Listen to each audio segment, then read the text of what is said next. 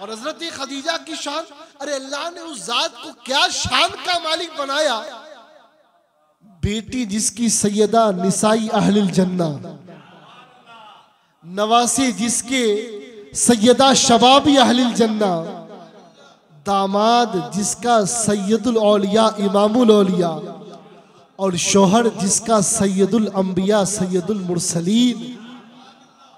बेटी बेमिसाल नवासे बेमिसाल, दामाद बेमिसाल, और शोहर सर का ताज भी बेमिसलो बेमिसाल।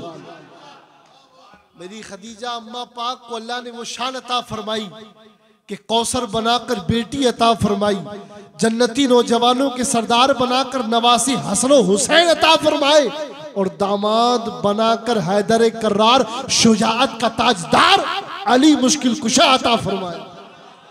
और फिर सर का ताज बनाकर, इज्जतों का ताज बनाकर, दिल की ठंडक बनाकर, शोहर नामदार बनाकर मुस्तफ़ा जैसी जात को अता फरमाया। एक साहब कहने कह रहे थे कि मेरे आका की तो बहुत सी बीवियाँ जो है वो गैर शादीशुदा थी, कुंवारी थी। मैंने कहा, बेशक मेरे मुस्तफ़ा को कई कुवारी खातून जो हमारी माए अता हुई।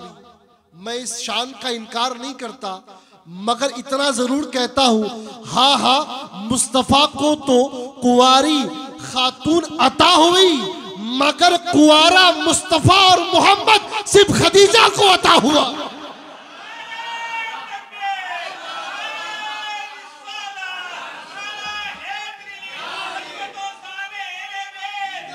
मैं कुर्बान जाऊँ उम्महातुल मोमिनीन की नारायण से लगी धूल पर। अरे हा हा, कुवारी खातून मुस्तफ़ा को अता हुई, मगर कुवारे मुस्तफ़ा फकत खदीजा को अता हुआ।